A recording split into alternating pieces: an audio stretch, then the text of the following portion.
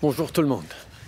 I want to start by recognizing that today marks the 75th anniversary of the Battle of the Atlantic. As we remember the sailors, soldiers, and pilots who helped turn the tide of the Second World War, we honor all our veterans who stepped forward so we may live in peace. We think of the brave men and women who serve today, and we mourn the six heroes we lost just last week. To their loved ones, to those serving on HMCS Fredericton, and to all CAF members, I want to one again, once again offer my deepest condolences to Canadians. Over the last four months, Canada has faced challenge and heartbreak on a scale we could never have expected. So if you're feeling overwhelmed, that's understandable. If you need support, that's okay. In April, we launched Wellness Together Canada, a website where you can find people to talk to if you're in crisis. And today, we're taking another step forward. Our government is investing over $240 million to bring healthcare online. We're expanding existing online tools, creating new virtual platforms for mental health and for primary care. Let me start with a new platform for mental health. Whether you're looking for strategies to manage stress or support from a, from a professional, this will be a resource for you. And if you're part of a marginalized community and you need specialized tools, well, there'll be specific help for you as well.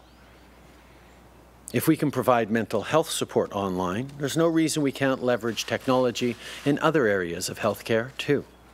This $240 million investment will also include funding for virtual care for times when you don't need to see a doctor in person. Just take video conferencing.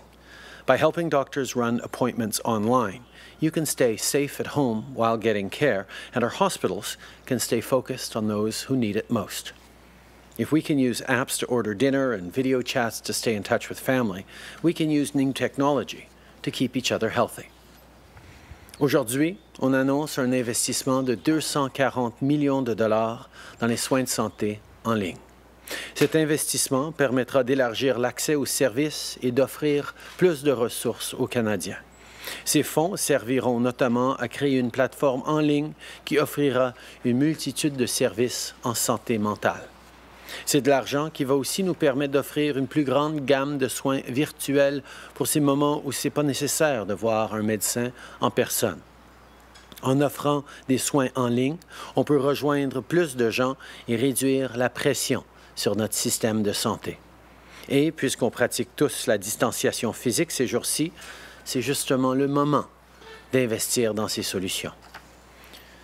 To beat COVID-19, we have to think outside the box. When Canadian researchers have a solid lead, we need to make sure they can follow it up.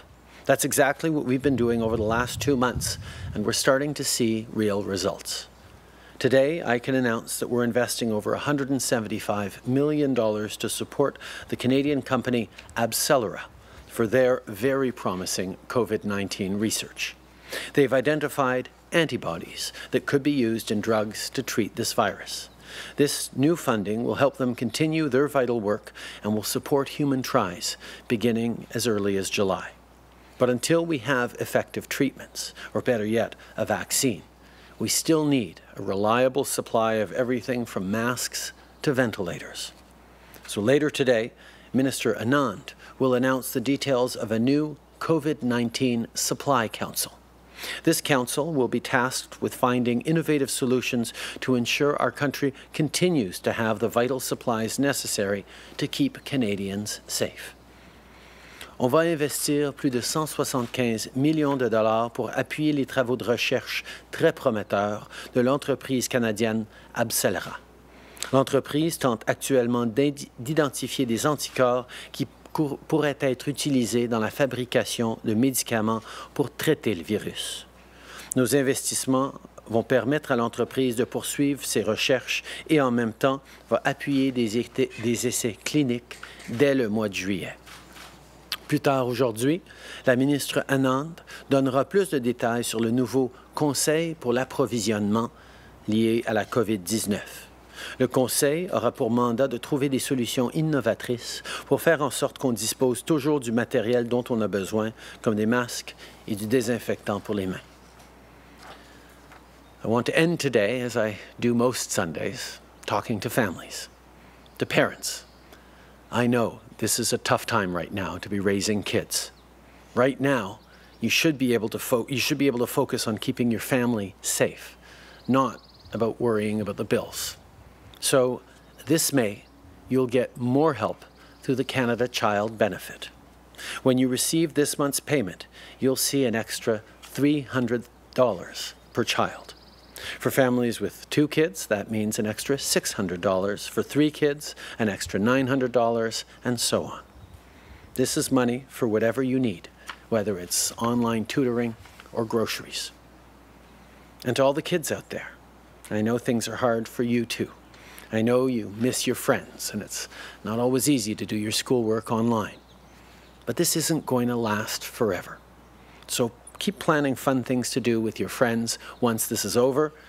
Keep up on your homework, and remember, we're going to get through this together. So thanks for all your help around the house, with your parents, and on sticking together through this difficult time. Si vous êtes un parent, on met plus d'argent dans vos poches ce mois-ci.